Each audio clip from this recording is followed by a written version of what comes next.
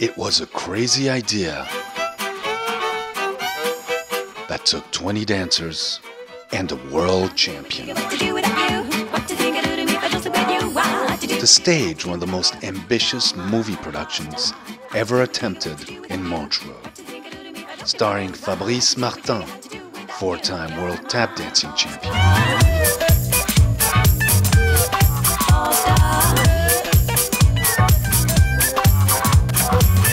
In a brand new film, from tradition to trend.